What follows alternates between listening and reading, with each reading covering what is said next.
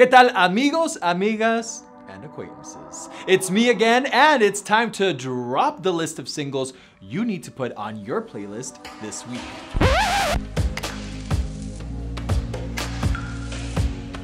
The entries this time around are all in a category and mood of their own. I felt as if I was presenting an award. Jessie Reyez is coming off strong from her Grammy nomination, so all ears are on her and her new material. Well, let me tell you, when you hear her singing Love in the Dark, you'll want to give her that award a hundred times over. This song will be part of her upcoming album, Before Love Came to Kill Us.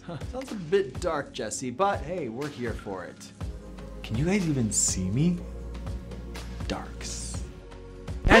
Wouldn't be a drop without a collab or two. So let's start with Cali y El Dandee joining forces with Mexican trio Reik. El single se llama Borracho de Amor. Hablando con mi producer, we came to the conclusion that it's a song you can play anywhere. A party, your car, incluso en casa de tu abuelita. The more we go down the list, the bigger the gang. The four guys from Piso 21 and the duo of Zion y Lennox. Nearly enough guys for a Fast and the Furious movie. La canción se llama Dulcecitos, pero de dulce no tienen nada, ¿no me creen? Vean el video completo y hablamos luego. And guess who surprised us with a new album this week?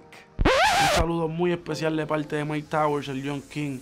Y te invito a escuchar mi nuevo álbum, Easy Money Baby, por New Music.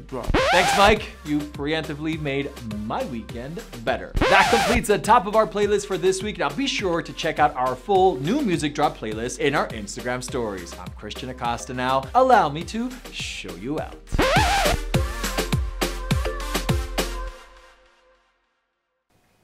Hey guys, so if you want to be up to speed on everything that's happening in Hollywood mm. with a little bit of Latinx flavor, Latin twist. Subscribe. That's it. Subscribe. Just right here. Subscribe. Subscribe. It's free.